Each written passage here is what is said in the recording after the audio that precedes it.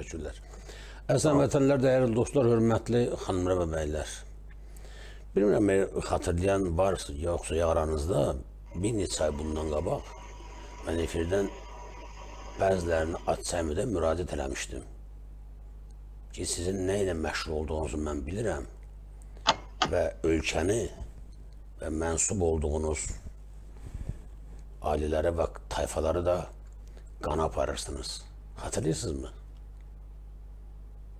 Mən canlı efirdən bunu demişəm buradan.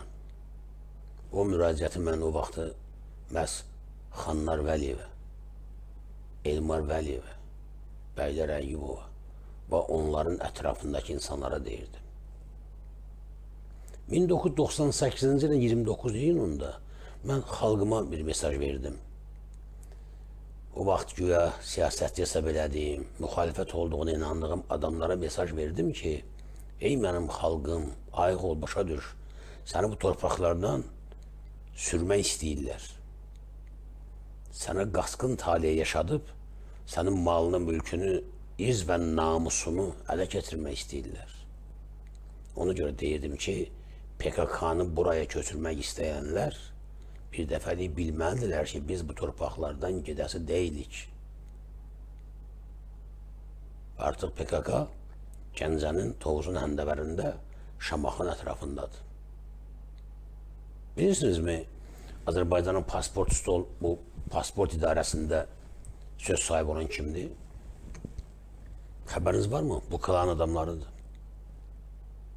Türkiyədən, Suriyadan, İraqdan PKK-nı gətirirlər.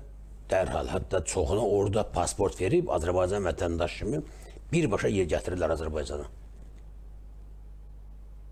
Və bütün bunlar ə, əsasən 2005-ci il parlament seçkilərindən sonra sürətləndi. Burada mən artıq bəzi şeyləri məqamı çatıb deyə deməliyəm xalqıma.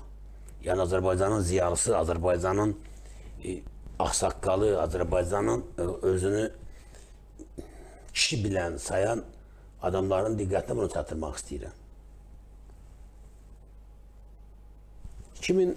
2007-ci ildə burada bu İngiltərədə, Londonda bir Azərbaycanlı tələbəni Kürt bilib, Kürtlər ona belə bir söz demişdilər. O da mənə danışmışdı bunu. Ki, Azərbaycan parlamenti 30% keçdi əlimizə, bu söz deyilib 2007-ci ildə. 2005 parlament seçkilərindən sonra 30% keçib əlimizə, tezliklə Azərbaycan bizim olacaq. Əslə vətənlər. Artıq keçən il, keçən il bəli, Avropada bir dostumuz mənə yazdı ki, burada dedi bir məhəzzə oturmuşduq, televiziyada danışırdıq, Azərbaycana baxırdıq. Birdən bu PKK-nın burada üzlədiyi çoxdur. Gülüşməyə başladılar ki, bunların hələ xəbəri yoxdur ki, Azərbaycan artıq bizimdir. Ya ailə vəlidə verib özümüzü xilas eləyəcəyik, ya da iqbalların vasitəsilə millətin başını dumanlandırıb əslində vətənlər PKK-ya yem eləyəcəklər onu. İqbal Ağazadə bilirsiniz, açıq şəkildə PKK-nın yanındadır, müdafiə elədi. Cəhd elədilər, bütün komandasını düşdü ortalığa. Gördü, yox, alınmadı. Azərbaycan xalqı deyəsən, əvvəlki xalq deyil. Daha onu lələ-lələ ilə anlatmaq mümkün deyil. Görün, hansı yolu tutdu. Bunu da danışdıran Allahdır. Diqqətlə qulaq asın. Prezident özü də Hikmət Mirzəyevə qəzəbli idi Talış məğlubiyyətinə görə. Ee, bilirsiniz ki, orada bizim xüsusi təyinatların səhv etmirəmsə 28 şəhidi var idi. Bu məsələlərdə israrla iddia eləyəndən sonra Hikmət Mirzəyevi də qəbul edib digər hərbi müdafiə sənayenin biz yenə də gəlib çıxacağıq tərtər məsələlərindən üstünə. Və orada o müşavirədə Hikmət Mirzəyevin, Nəcməddin Sadıqov və digər Müdafiə Nazirinin rəhbərliyi iradlarını bildiriblər. Prezident də həmin iradları soruşub. Hikmət Mirzəyev çəkinmədən, qorxmadan Nəcməddin Sadıqovun ə, Azərbaycan ordusuna vurduğu ziyanla bağlı elə prezidentin hüzurunda da mövqeyini ifadə edib. Və deyib ki, Talış kəndində, onda sualım ki, Talışdan niyə çıxdınız, niyə qoruya bilmədiniz? Əslində Lələtəpə və Talış saxlanılmalı idi aprel döyüşlərində 2016-cı il. Dedi bizi korpus dəstəkləmə.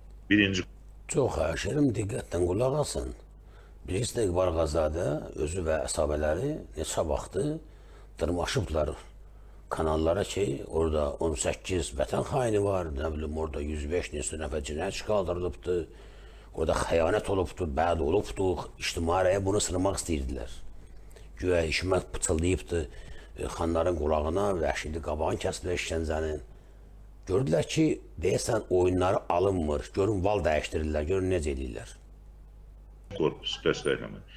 Birinci korpusun komandiri, onda komandir qalxıb. Niyə dəstəkləmədiniz? Baş qərargah qoymadı. Bəli. Baş qərargah niyə qoymadın? Düzdür. Birinci korpusda satqınlar var idi və biz bilirdik ki, ora hücum Azərbaycan ordusunun böyük itkilərlə nəticələnməsi ilə hücum böyük itkilərlə nəticələnəcək. Ona görə də əmr vermədik. Bilirdik ki, erməniyə işləyən. Və əslində Tərtər hadisələri ilə bağlı yaranan istintaq komissiyasının mahiyyətində bax o bu gün xüsusi təyinatlıların özünün də o hadisələrdəki onlara qarşı olunan ə, ə, mövqeyi ciddi rol oynayıb. Və Tərtər hadisələri ilə bağlı əslində Nəcməddin Gilin qurduğu, qoşduğu və əslində Rusiyaya xidmət etdiyi bir oyunun içərisindədir. Nə Eşitdiniz dostlar? Nəcməddinin qurduğu oyun. Eşitdiniz? Pa, Bunları qurban olum, Allah böyükdür. Bunlar axır başa danışacaqlar. İslah olacaq yavaş-yavaş. Düzdür, İl- bu İqbal islah olunmağa addım atıb, amma çox asta-asta gəlir. Burada da müraciət edirəm. İqbal bəy, bu gedişindən gedişəcəksən. Təzir çıxırsan xalqın qabağına, üzr istəyirsən elədiyi səhvlərə görə, PKK-dan imtina edirsən, klandan kənarlaşırsan, təcili. Partiya adı zadında silib çıxırsan aradan. Dərhal, axırın sizin çox pis görsənir. Əslən vətənlər, dünənə qədər orada terrorçu olub, orada xəbət, üzə xəbətən xain olub, nə bilim satqın olub, erməniyə gedib cins hərəkət olub deyən adam bu gün nə deyir ki, o oyun qurmuşdu. Kim? Nəzməddin. Bəli, Nəzməddin oyun qurubdu. Oyundur, oyun. Amma bu oyunun nəticəsində minlərlə Azərbaycan əskər və zabiti təhqir olunub, alçaldılıb, bir millət bütövlükdə təhqir olunub. Diqqətə görə nə danışır? Nəcməddin Sadıqov və digərləri Tərtər hadisələrini ona görə qurmuşdular ki, yəni Rusiya pərəst qüvvələr özlərinin cinayətlərini və xəyanətlərini bunun üzərində pərdələsinlər. Nəcməddin Sadıqov və digərləri. Tərtər hadisələrini ona görə qurmuşdular ki, yəni Rusiya pərəst qüvvələr özlərinin cinayətlərini və xəyanətlərini Ay, sağ ol oğlum. bunun üzərində pərdələsin, örtbasdır etsin. Halal olsun, o belə belə bu biri danışdı, heç olmasa danışma bacarsan, bilirsən də bu şeyləri. Bəs bu günə qədər niyə danışmırdın? Bunu niyə gizlədirdin? Hə? Hə, Millət, diqqətən qulaq asın da beləcə bir sussaq. Baxın ha, anlayın ki, Azər film olmasaydı, sən Azər film ailəsində, sən şərəfli xalq, ləyaqətli millət olmasaydın, bunlar elə bu cinayəti xalqa yedirdəcəklər üz istəyirəm. Bu elə belə, hə vətənə xəyanət olubdu, erməni kişilər sən demə, Azərbaycan kişilərini zorlayıblar. Bir də özdə 300-500 manata. Mən buradan soruşuram. Kim yalan danışır sizcə? İlham Əliyev yalan danışır yoxsa Xanlar Vəliyevindən bu İqbal Ağazadə? İkisindən biri mütləq yalan danışır. Ya İlham Əliyev yalancıdır, ya da Xanlar Vəliyev yalancıdır. Bilirsiniz niyə bu sual verirəm? Siz də fikirləşirsiniz, bunu hansı yalan danışır? İlham Əliyev neçə vaxtı deyir ki, sənə, Azərbaycan xalqına. Ermənistan acıdan ölür. Ermənistan batır. Bu pulları yoxdur. Ermənistan dövlətinin büdcəsi Azərbaycan ordusuna qoyulan büdcədən azdır. Düzdürmü? Xatırlayırsınız? İndi birdən bir aydın olur ki, Xanlar belə deyir, yo, İlham Əliyev sən yalan danışırsan. Ermənilərin pulu çoxdur ki, Azərbaycan əskərinin cinsi hərəkət olmaq üçün 300-500 dollar pul ödəyir.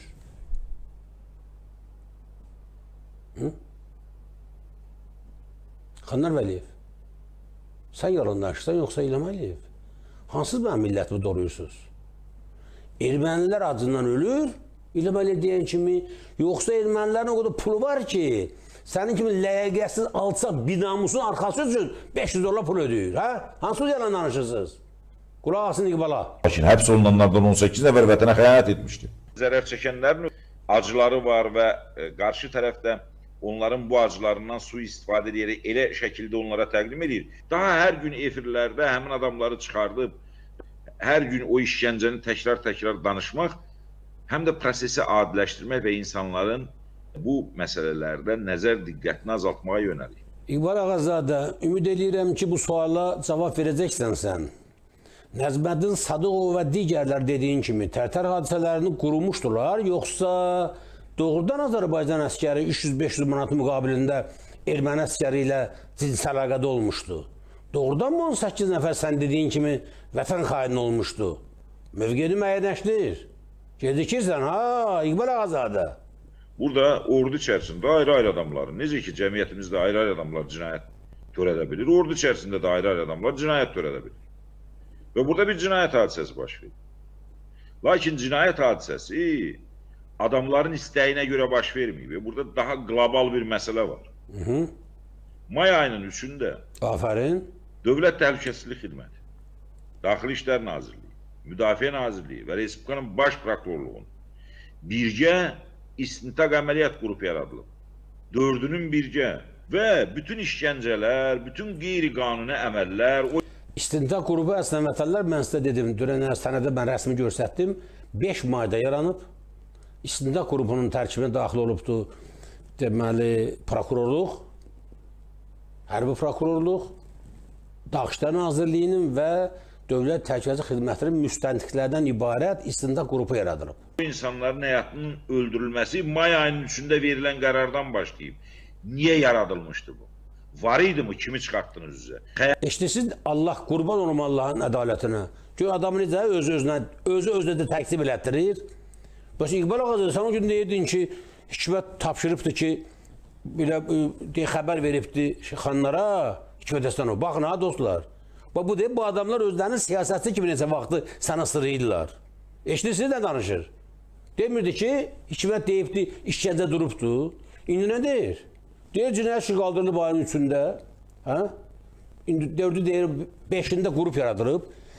İstintaq artıq başlayıbdı. Yəni bütün o proses hərbi prokurorluğun, baş prokurorluğun və DTX-nın nəzarətində olubdu. Ölüm faktlarına bax başlayıb ayın 6-sında. İşgəncə başlayıb elə may ayının birindən, aprelin sonlarından. Ölüm faktı olub may ayının 6-da ilk ölüm faktı. Onda mən nəyə durdurublar? Kim durdurub?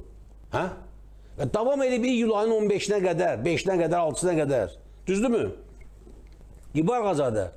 Sənə nə düşmüşdü? Sənin məcburiyyətin nə idi ki, sən PKK-nı belə müdafiə edirdin, hə? Bu mafiyanı, bu alçaq, ləqəsiz insanları müdafiə edirdin. Sənin nə marağın var? İndi qulaq asın görün nə deyir indi. Xəyanət, xəyanət ediblərmi? Və yaxud da axıra gedib, bu gizir xəyanət eləyir. Bu gizirin başında dayanan bir yerlərə gedib çıxmasa, bunun rəhbəri olmasa, o gizirin başına gülləni vurarlar birinci postdan keçdiyi müddət. Bəs neçə vaxt biz nə deyirik? Bəs neçə vaxt biz nə deyirik ki, Hikmət Həsənov necə ola bilər korpus komandiri olsun, onun rəhbərliyi altında olan əskərin bir hissəsini o biri hissə əskər yasıb döysün, öldürsün. Bu necə ola bilər? Necə ola bilər ya bu şeylər ki, yüzlərlə adam gedir orada əskər satır. Hə, alçaq binamızın biri deməli ifadə verib adamı niyə tutublar? Ha, İttihamın birdən baxın hələ. Bunu yəqin ki, İqbal Ağazadə eşitsə bir oxumayıb, bilmir, xəbəri yoxdur. Yoxsa dəli olar ya İqbal özü də. Deyir ki, sən 10 dənə aparıb Azərbaycanı satmısan erməni, milyonlar pul almısan. Dünən mən sizə verdim nə efirdə, gördünüz onu? Sırağa gün verdim efirdə. Material o qədər çoxdur ki, mən bilmirəm hansını nə vaxt vermişik və bundan sonra çatdır, vaxtımız çatmır.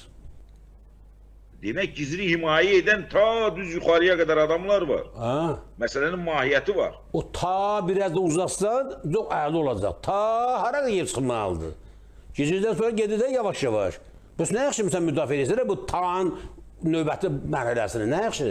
Korpus komandiri hara baxır? E, şey ştab rəisi hara baxır? Qaraca rəisi. Müdafiə naziri dəqiq hara baxır? Bu nə tər müdafiə naziridir? Başa düşürlər, bunun ordusunu zorlayırlar, armatur yerdirlər. Hara baxır bu? Bəli, burada günahsız adamlar öldürülüb. Burada cinayətə aid olmayan adamlar öldürülüb. Adamlar işgəncə görülüb. Ən azı zərər çəkənlərin iddiası budur. Yox, mövcud məhkəmənin nəticələrinə inansaq, ki mən onu saxta hesab edirəm, mən ki mən onu saxta hesab edirəm. Eşidirsiniz dostlar? Baba ağıllanır yavaş-yavaş. E? Bunlar ağıllanırlar, islah olunurlar. O gün nə deyirdi? İşləyəcəksiniz. Deyir, məhkəmənin hökmü ilə 18 nəfər sübut olunub ki, şeydir, vətən xainidir.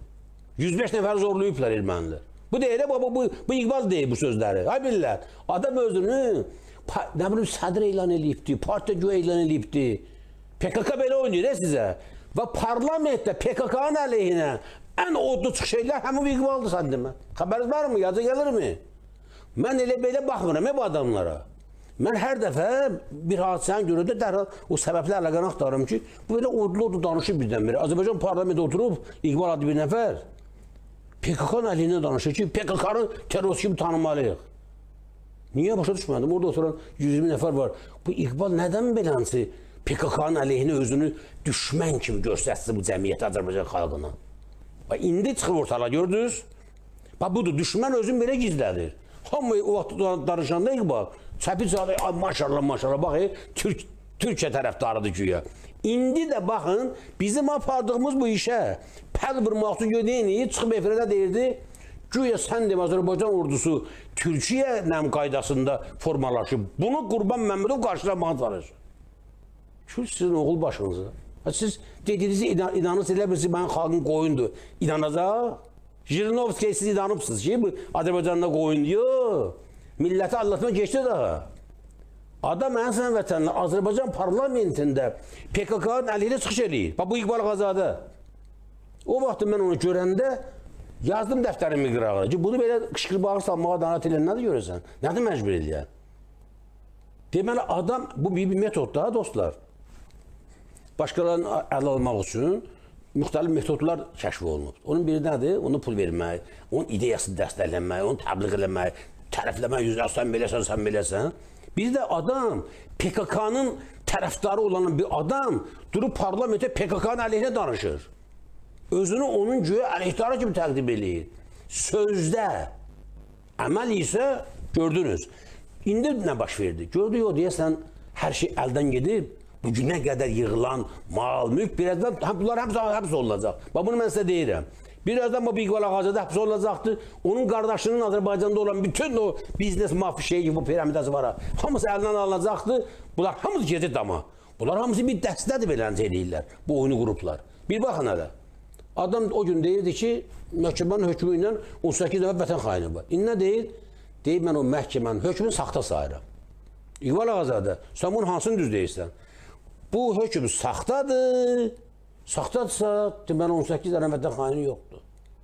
Yox, əgər sən dediyin kimi 18 dənə vətən xaini varsa, deməli bu saxta deyil. İndi görüm sən o zaman düz deyirdin, yox, indi düz deyirsən.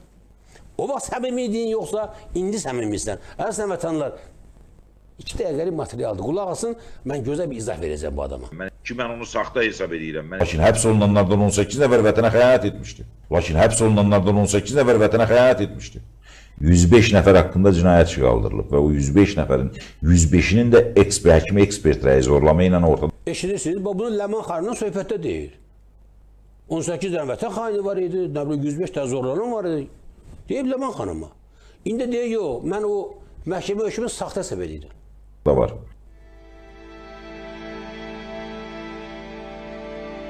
yox, mövcud məhkəmənin nəticələrinə inansaq ki mən onu saxta hesab edirəm. Ay, ay, ay. 18 nəfər vətənə xəyanət maddəsi ilə tutulub. Lakin həbs olunanlardan 18 nəfər vətənə xəyanət etmişdi. Ortada xəyanət var. Ortada xəyanət var. Ortada xəyanət var. nə kişiliyə sığır, nə qeyrətə sığır. İlham Məmmədovun hansı ə, dövlətin, hansı ə, demək, planların içində olduğunu təəssüflər olsun ki, siz görmürsünüz və bilmirsiniz. Dostlar, deməli mən İqbal Ağazadənin cəmisi 10 dəqiqəlik 10 dəqiqə, 15 dəqiqə belə bir yerə müsahibə veribdi. Oradan götürmüşəm bunun bu səslərini. 15 dəqiqəlik deməli e, söhbətində, müsahibəsində çıxartdığı səslərə fikir verin.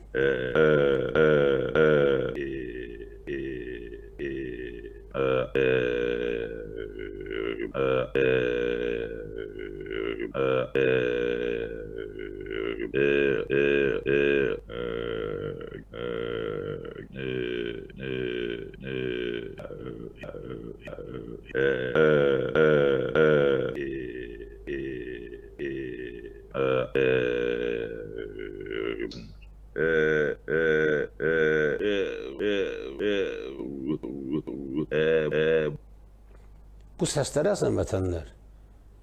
İqbal Ağazadə müsahibə verərkən ax səmimi deyil danışığında. Bunu mən indi deyirəm bunu psixoloqlar əla bilirlər. Bu da mən danışıram.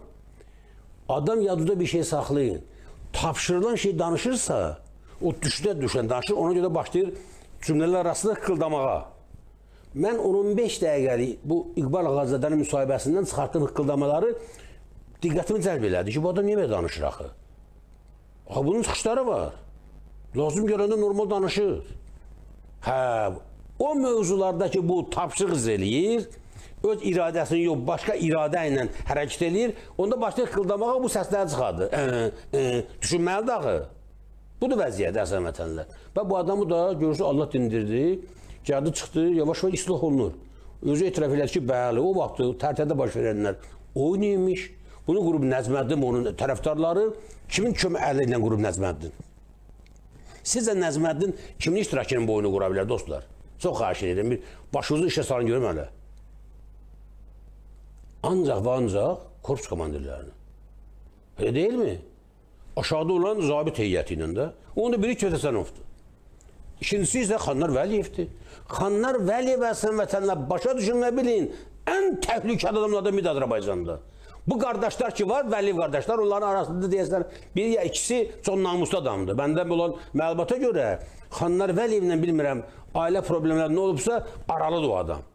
Mən bunu indidən deyirəm ki, o millət sabah qalxanda ayağa hamısını tapdalamasın ha. Bunların arasında namuslu adamlar da var. Bunlar qatmaq olunmaz. Hər bir adam öz əməli ilə cavab verməlidir. Mən bu gün bu efirdən o günləri deyəndə ki, hey, Bəzi adamlara səslənən burdan. Özünüzü də ətrafınızda qana aparırsınız. Mənim xalqımı qana sürüklüyüz deyəndə onları nəzərdə tutsun və qandıra bilmədim onları mən. O adamlar daymaq fikirləri yoxdur. Onların daymaq fikirləri yoxdur. Onlar bu gün də bu alçaq işlərini davam etdirirlər. İlham Əliyev də artıq öz mövqeyini bəlli eləməlidir. Kimin tərəfindədir? Azərbaycan xalqının yoxsa PKK-nın? Buradan da mən Türkiyə Cümhuriyyətinin hörmətli Cumhurbaşkanı, hörmətli Sayın Rəcəb Tayyib Ərdoğana və Türkiyənin bütün müxalif parti sədrləri müraciət eləyirəm. Azərbaycan qorxulu bir vəziyyətdədir. Azərbaycan PKK-nın işğal altındadır. Azərbaycandan əldə edilən milyardlarla gəlir hesabına PKK maliyyələşdirilir. Bu da Türkiyənin dövlət maraqlarının ziddinədir. Türkiyə elan eləyib. PKK hardadırsa, Türkiyəyə gələn təhlükə hardadırsa, oradaca hinində də vurulmalıdır. Və mən buradan Türkiyəni görevə çağırıram. Türk ordusunu görevə çağırıram. Azərbaycan təhlükəli vəziyyətdədir. Azərbaycanın prezidenti bu şeylərin bazarmır. Bəlkə də deyə bilmərəm mən. Azərbaycan prezidentinin özünün həyatı təhlükə altındadır, özünü qoruya bilmir. Ona görə də Türkiyə dövləti bu məsələyə müdaxilə etməlidir, böyük qardaşımız kimi.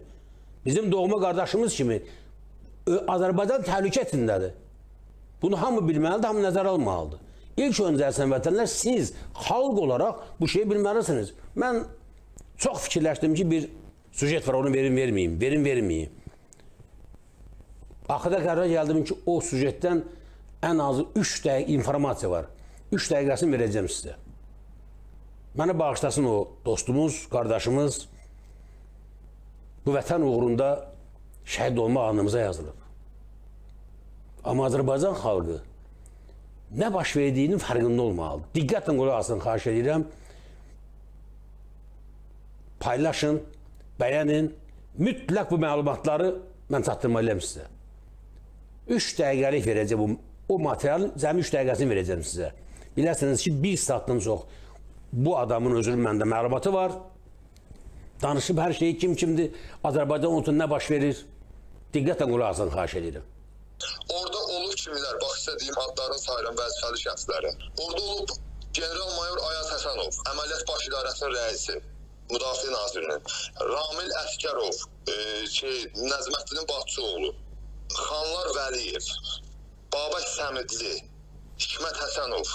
Yəni mən də deyim Ayaz Həsənov, yəni Zakir Qaralovun qudasıdır. Onu da deyim sizə. Üzr istəyirəm, bu işgəncə yerində olublar bunlar hamısı. Bəli, bəli, 708-də Mingəçevirdə, Aran qəsəbəsində. Siz onları harda görürsünüz?